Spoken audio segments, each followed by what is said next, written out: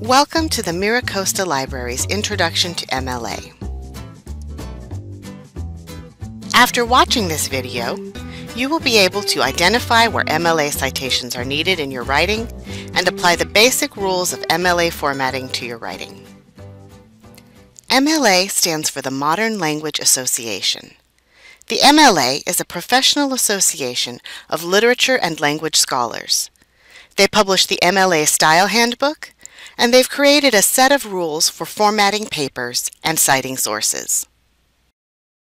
The most important thing for you to learn about MLA is how to give credit to other writers. Citing sources helps you avoid plagiarism by giving credit to others for their work.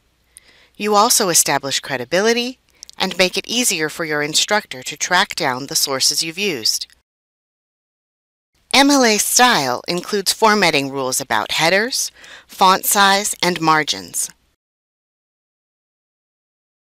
You can use the MLA formatting templates on the library website to make sure your paper follows the correct format.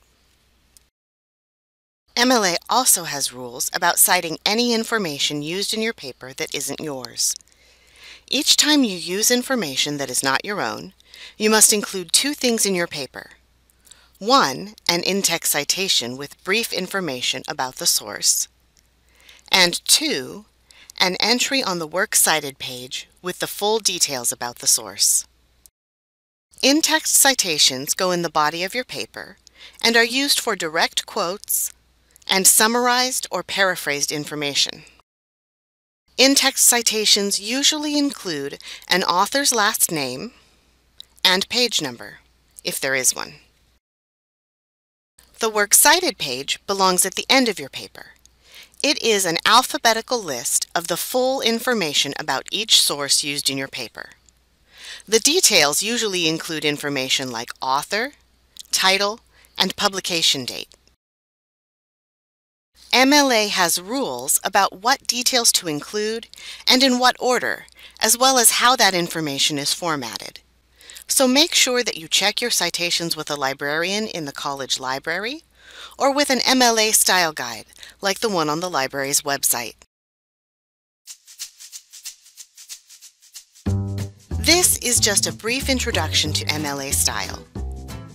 For now, you should be able to identify where MLA citations are needed and apply the basic rules of MLA formatting to your writing. As you write your papers, you'll probably find that you have more questions or need more detailed information. Librarians can help. The library website has lots of resources, and you can also meet one-on-one -on -one with a librarian if you need more help.